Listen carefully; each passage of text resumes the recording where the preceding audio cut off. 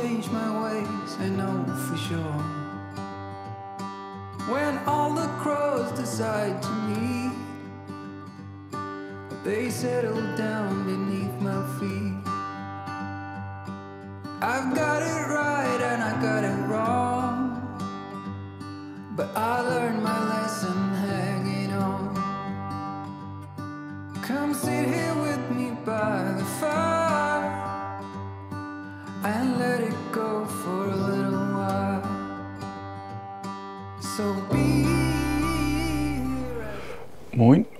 willkommen, weil es wieder heißt, der Flachlandradler ist unterwegs.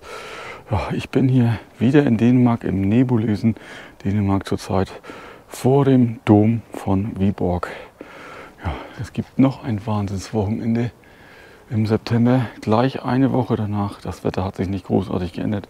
Es ist doch gut geblieben. Heute soll noch mal wieder schön Sonne scheinen, 23 Grad. Ja, zurzeit noch nicht, aber der Nebel soll sich auflösen. Ja, hier endet eigentlich auch der Ochsen- oder Herrenweg, wie er hier heißt. All den haben wir auch weitergeführt. Das interessiert mich schon lange. Die Nummer 3, die werde ich aber hier noch nicht fahren. Ich habe jetzt zwei Tage Zeit, wieder Samstag, Sonntag werde ich es diesmal machen. Aber ich fahre erstmal Richtung Westen so ein bisschen. Ja, auf so einen richtig, richtig langen Bahntrassenradweg. Der geht fast 75 Kilometer. Ja, soll gut ausgebaut sein. Ja, vielleicht nicht ganz so interessant, wer weiß. Gerade jetzt, wo es noch so neblig ist, aber es soll ja aufklaren. Noch ein paar Ortschaften, da wird man so ein bisschen ja, ausgebremst, da ist er ein bisschen überbaut, aber sonst eigentlich ziemlich durchgängig. Mal sehen, bis ich dann oben bei Niebe an den Limfjord komme.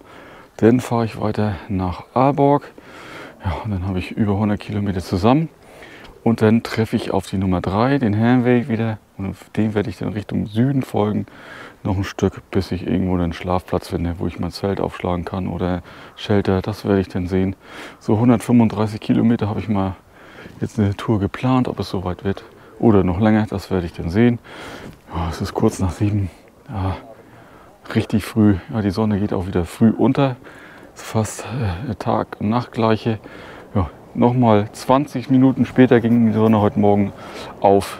Also es ist schon ein Unterschied, das ist jetzt rasend schnell, wie das dunkel wird morgens und schneller dunkel wird abends. Äh, heller wird morgens und dunkel wird abends. Also es ist schon ein großer Unterschied, das geht ganz schnell. Ja, und denn morgen am Sonntag ja, werde ich auf jeden Fall die Nummer 3 weiter folgen, komplett bis nach Viborg. Das sind auch noch fast 100 Kilometer, aber das kommt erst morgen. Also heute einen langen Bahntrassenradweg, Nibel, Limfjord, Aalborg und dann schaue ich mal. Also, na dann, wenn es euch interessiert, bleibt dran. Der Nebel wird sich auflösen auf jeden Fall. Also, dann wünsche ich viel Spaß dabei bei den kommenden Bildern.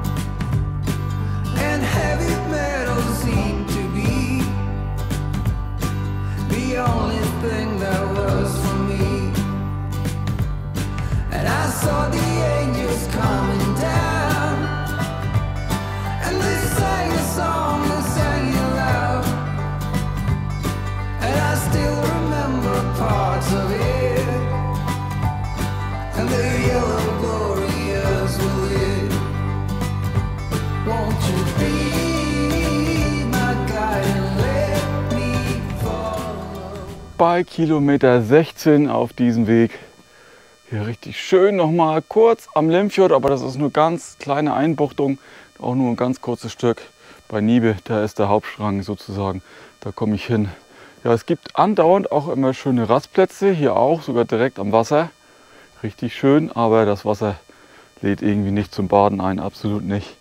Braun und schlammig und ah, aber schade, dass die Sonne jetzt noch nicht scheint. Ah, die kommt aber auch, glaube ich, bald, über mir habe ich schon ein bisschen blauen Himmel entdeckt und kalt ist es absolut nicht. Also ich bin schon kurz unterwegs, einfach klasse.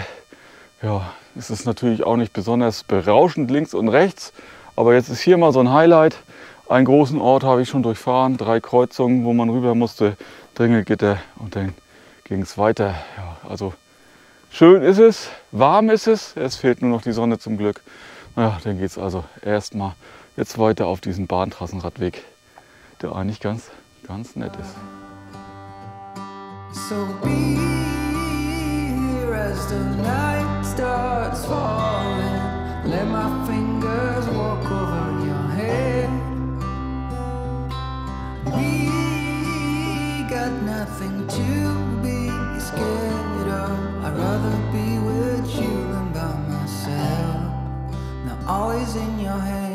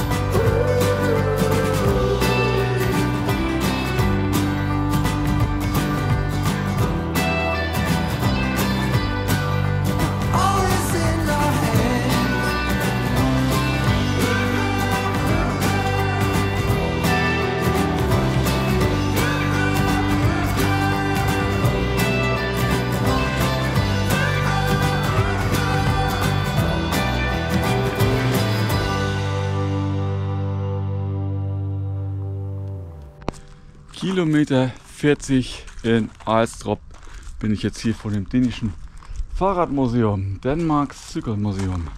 Ja, bis jetzt war landschaftlich natürlich eigentlich nicht so besonders, weil die Sonne ist immer noch nicht da. Es ist jetzt so ein bisschen Hochnebel. Ach, es nervt, das ist jetzt doch nicht auf. Laut Wetterbericht hätte ab 9 schon Sonne scheinen sollen, ohne Ende.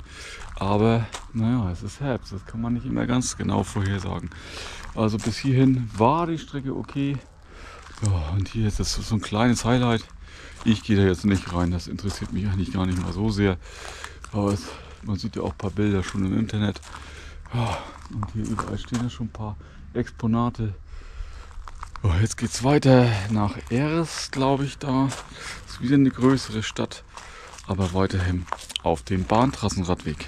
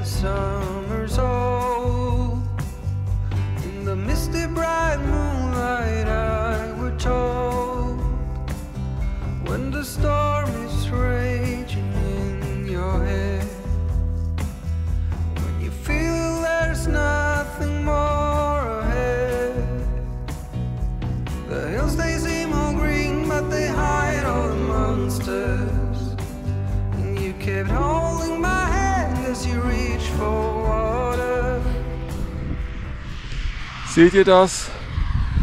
Blauer Himmel, da ist er. Ja, leider noch nicht da, wo für mich die Sonne scheint, aber es sind auch noch ein paar Minuten. Dann kommt die raus. Auf einmal reißt es hier auf. Ah, endlich. Naja, kann es ja gut weitergehen.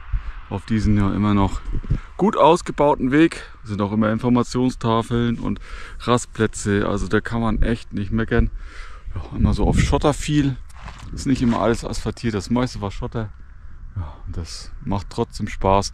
Ja, es ist landschaftlich ja, nicht der große Burner hier und Renner, würde ich sagen. Aber ja, jetzt kommt die Sonne. Oh, gleich schön warm. Ein paar Weitblick hat man trotzdem. Aber das schöne Ende kommt ja erst noch. Naja, weiter geht's. Ich bin bei Kilometer 52.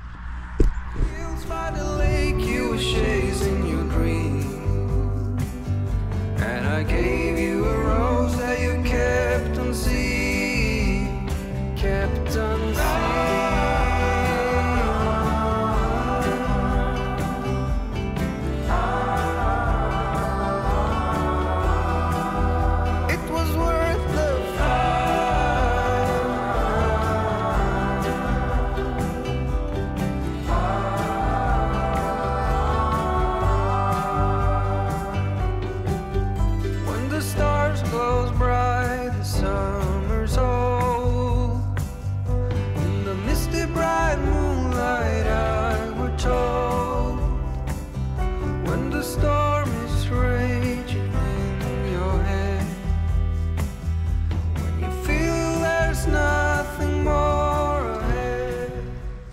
bin ich hier an einem entscheidenden Punkt in Ars. Hier trennt sich ja die Routen oder die Stien, wie es hier heißt. Himmerlands Stien war ich die ganze Zeit bis hierhin. Und jetzt geht es ja nach Halbsonstien. Den werde ich ein bisschen folgen, nicht komplett, aber es ist sozusagen ein Gleiswechsel nach Loxdor. Da war ich doch schon letzte Woche, genau vor einer Woche, bin ich da über die Brücke auch gefahren. Ja, ist richtig toll gewesen. Und hier, ja, jetzt mit Sonne auch toll. Ja, es ist ja, gleich halb zwölf. Gibt gleich mal eine größere Pause, aber hier ist noch mal eine Karte. Hier kann man sogar noch mal richtig zeigen. So, hier bin ich gestartet. Ja, hier, da ist das kleine, ganz klein gestrichelter Weg. Das ist der Radweg, das rote, dicke. Das ist der Herweg, Herrenweg oder Ochsenweg zu Fuß. Ja, aber den mache ich ja nicht. Ich fahre dann hier weiter. Hier oben das gestrichelte weiter bis Niebe. Das ist alles Bahntrassenradweg. Und dann werde ich hier oben längs fahren nach Aalborg. Und hier das blaue, das ist der Herweg. Nochmal in der, der Haupt, die Hauptroute. Ja, die wollte ich hier wieder runterfahren. Und irgendwo in dieser Gegend wollte ich dann schlafen. Ja, ich würde sagen, zu Fuß ist das sehr eintönig. Es war auch viel das Schild zu sehen. Das ist hier auch nochmal. Ja, da hinten das kleine Männchen. Also wandern auf dem Weg, das ist ja trostlos, würde ich sagen. Ja, aber mit Rad ist man ja schnell durch. Ich bin jetzt schon bei Kilometer ja, 60. Na, noch nicht ganz. Aber es läuft. Jetzt dann umso mehr. Ich hatte ja auch die ganze Zeit Rückenwind, also geht so weiter. Ja, Aas, ja, war gar nicht so klein. Gut durchgekommen, wie immer in Dänemark. War alles vorhanden, wenn man einkaufen möchte, aber das brauche ich jetzt nicht. Ich mache hier aber jetzt eine Pause, suche mir hier eine Bank und dann geht es dann weiter. Also erstmal kleines Mittag. You kept holding my hand as you reached for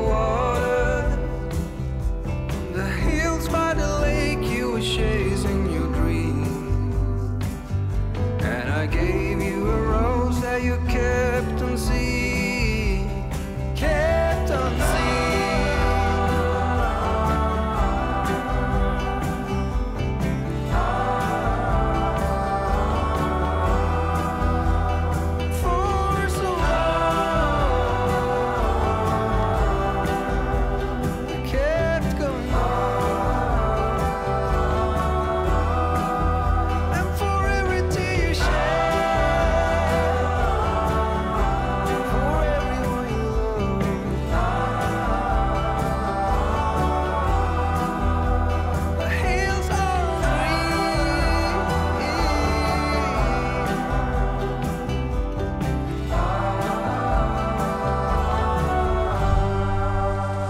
bin ich doch mal wieder an einen See angekommen, den Halkiersee.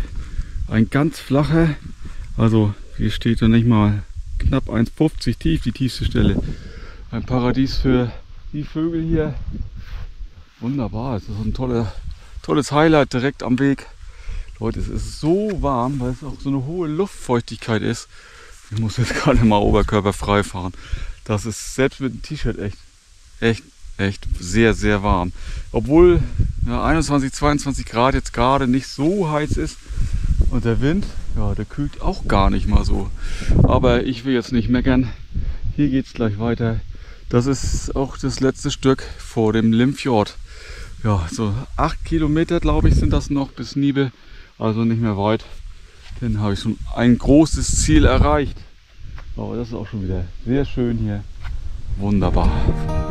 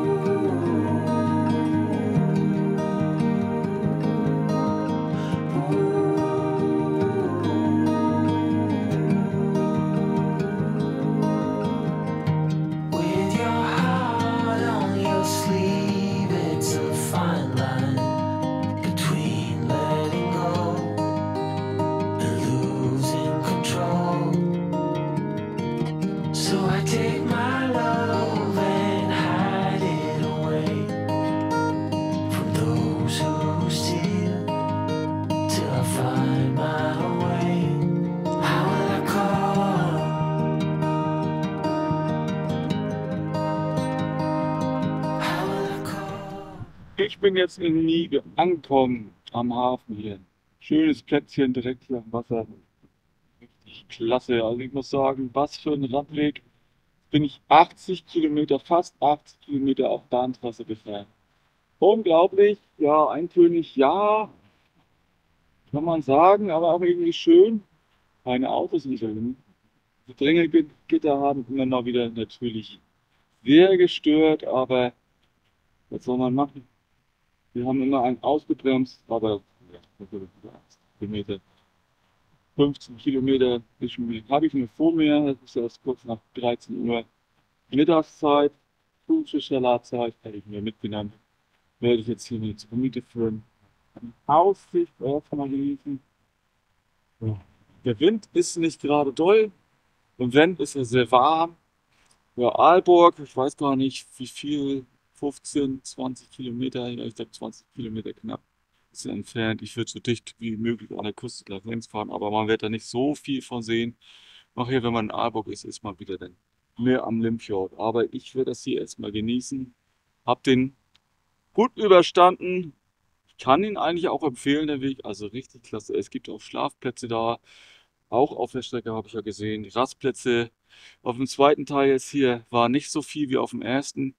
Aber vielleicht war es geschuldet, war der Herweg denn irgendwann abgebogen ist, der Wanderweg. Ja, okay. Ich esse jetzt erstmal und dann geht's wohl hoffentlich wunderschön weiter Richtung Aalborg.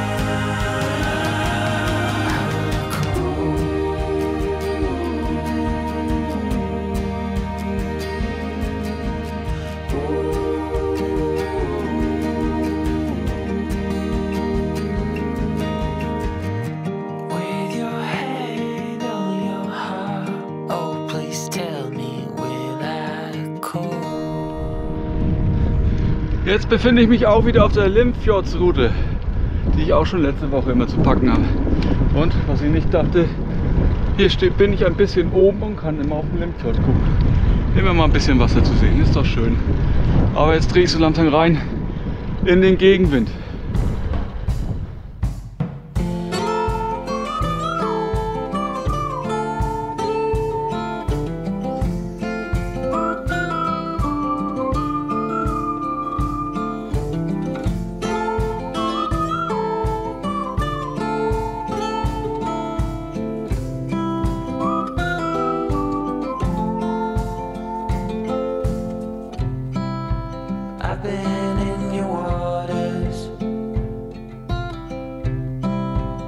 Knocking at your door. I know one thing for sure.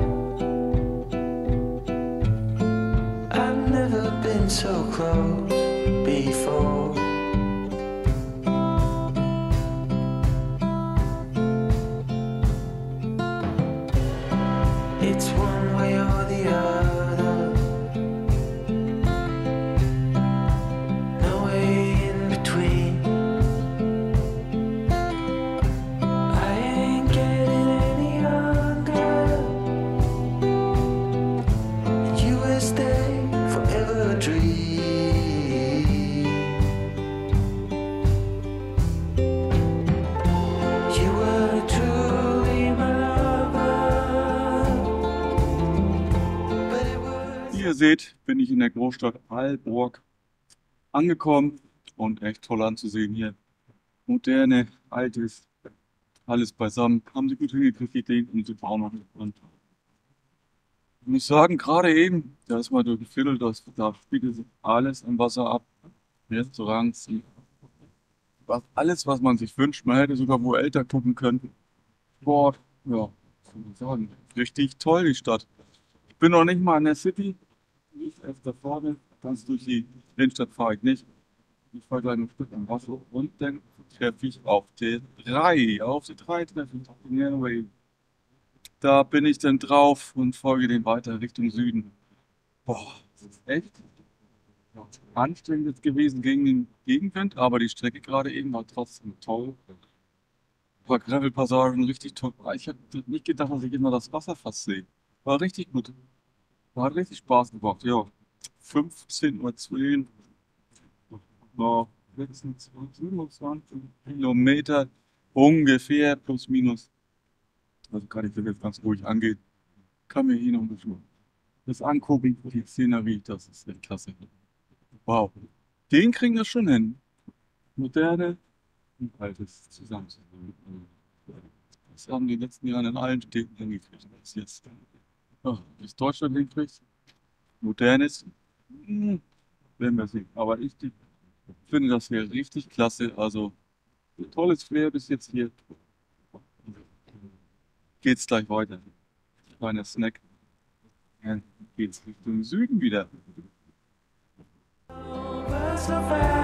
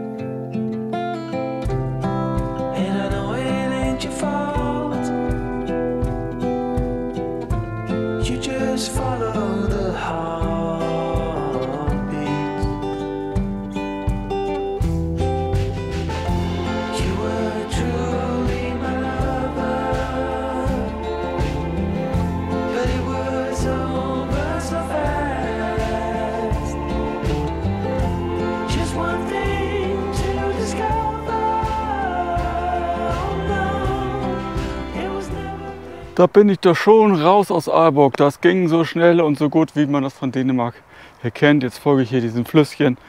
Also einfach klasse hier raus. Jetzt bin ich natürlich auch auf den Ochsenweg. Richtig schön. Wow, richtig toller Tag. Geht noch nicht zu Ende. Ich habe ja noch über 20 Kilometer. Aber das war toll. Also Aalborg, also das hat schon was. Also bei so einem Wetter kann man es da richtig, richtig gut aushalten. Tolles Flair, war echt stark. Naja, weiter geht's jetzt Richtung, ja, wie die Orte heißen, weiß ich jetzt nicht. Ja, aber weit ist es ja auch nicht mehr alles. Der Tag geht langsam zu Ende. You just follow the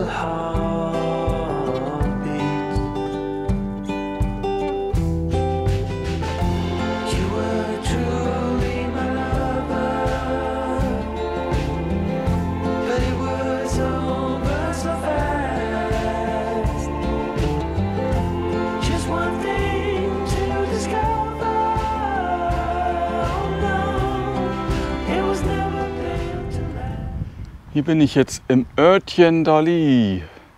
Die haben hier eigenmächtig, äh, eigenständig hier was aufgebaut zum Übernachten, weil hier der Herrenwegen vorbeiführt.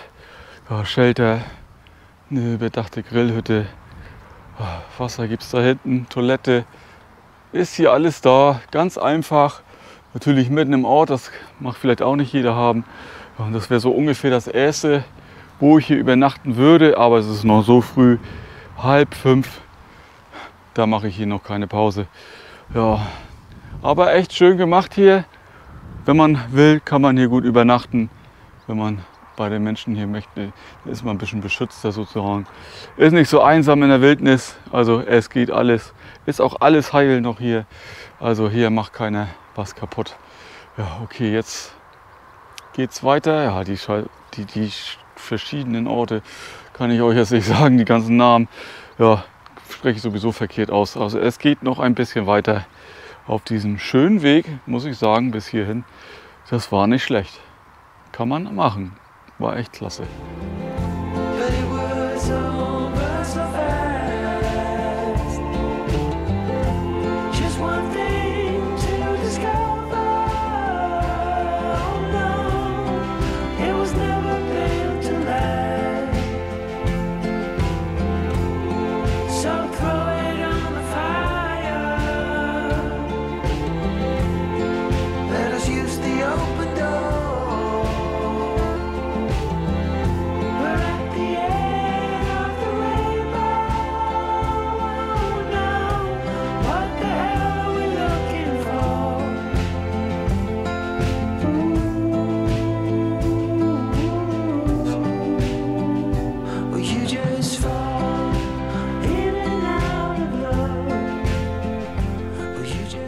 Hier bin ich jetzt kurz vorm Ziel, hier in diesem Ort. Da werde ich noch mal einkaufen, Abendessen. Und hier gibt es mehrere Möglichkeiten abseits vom Herrenweg. Da bin ich jetzt schon ein bisschen von ab. Ja, ich musste ein bisschen abfahren davon, damit ich hier noch Schlafplatz habe. Weiter möchte ich eigentlich nicht fahren. Wie gesagt, ich werde jetzt noch einkaufen und dann werde ich hier mehrere Stellen eventuell absuchen müssen, wo ich schlafen kann. Vielleicht passt auch der erste, ich weiß es nicht. Schauen wir mal. Also, dann bis gleich.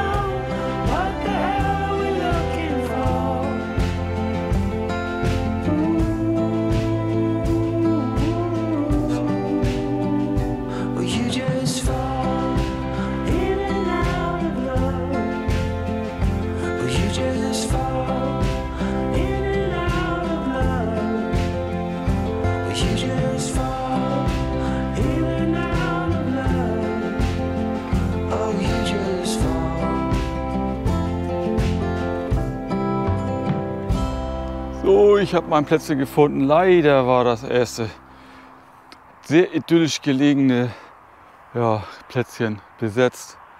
nichts zu machen, war leider voll. Shelter und Zeltplatz. Ja, wenn da viel los ist, dann setze ich mich nur noch zu. Ist. Hier ist gar nichts los. Jetzt kommt da gerade mal so ein Wohnmobil, will da wahrscheinlich übernachten. Da hinten steht zwar ein Zelt, aber irgendwie ist da niemand drin. Ja, Lage ist eigentlich ganz gut hier, denn, aber man hört es wahrscheinlich. Ja, da ist die Autobahn. Ja, die wird ein bisschen ruhiger in der Nacht werden, aber ich kann ja auch Ohrenstöpsel reintun. Ja, ihr seht, es ist gedeckt. Ich nehme wieder Brot und ein bisschen Belach und fertig. Ja, und der Platz ist eigentlich sonst gar nicht so schlecht, denn ich bin hier an einem See. Es ist kein Badesee. Nein, das ist ein Naturschutzgebiet oder irgendwas, aber auf jeden Fall ganz flach. Nichts zu baden oder irgendwas muss ich auch jetzt nicht haben. Ja, war ein langer Tag heute. Ja. Aber das Plätzchen heute, das ist doch auch stark. Also leider die Autobahn stört ein bisschen, aber sonst ja, geht's. Ja, 145 Kilometer oder was sind das geworden? Nee, 100. Nein, weniger. 141 oder so durch mein Hin- und Hergefahre hier durch den Ort. Aber trotzdem toll, hier gelandet zu sein. Ja, ich setze mich gleich mal dahin und mache mein Abendbrot und dann tue ich noch mal ein Fazit ziehen von diesem schönen Tag doch. Jetzt sitze ich hier und esse jetzt Abendbrot. Ich kann draußen sitzen noch. Es ist nicht kalt. Es ist kurz ja, vor 7 Uhr, vor 19 Uhr. Die Sonne geht ca. 19.40 Uhr unter. Also ja, gute 40 Minuten. Ich werde auch nicht alt heute. Das war ein anstrengender Tag. Wie gesagt, 141. Zum Schluss gab es noch richtig viele Höhenmeter. Das ging hoch und runter. So wird es morgen auch sein. Ja, aber trotzdem, wenn diese Autobahn nicht wäre, wäre das ein richtig toller Platz, weil der Wind kommt von hinter euch und er kommt hier überhaupt nicht an. Das ist wieder positiv. Ja, und ja, Lagerfeuer darf man hier machen und das muss ich aber jetzt nicht unbedingt haben, dann stinkt mal wieder alles voll. Die Klamotten riechen.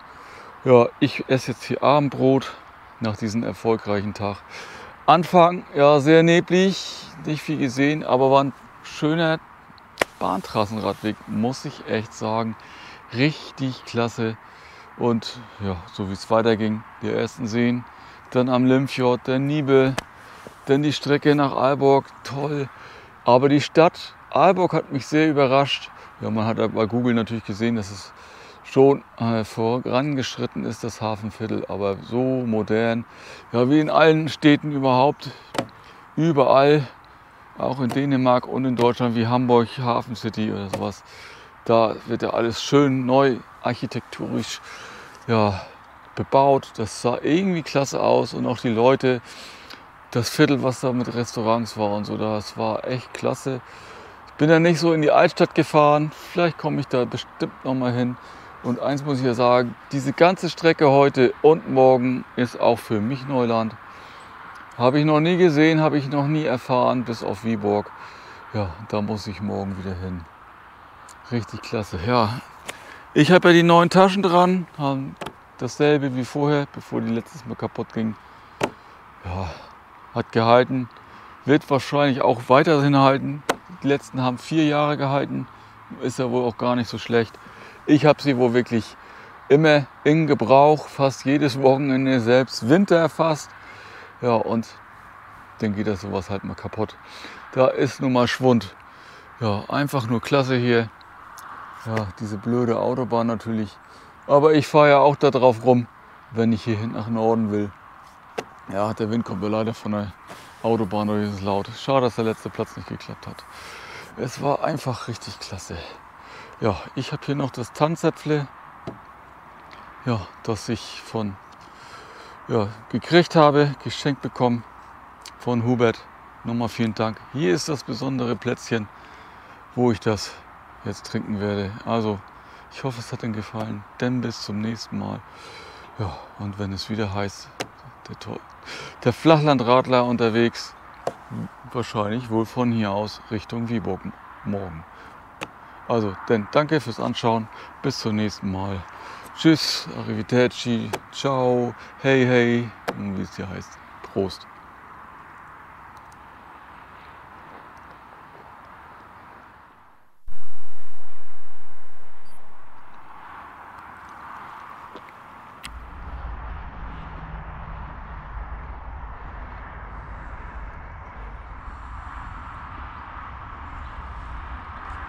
Jetzt aber endgültig. Tschüss.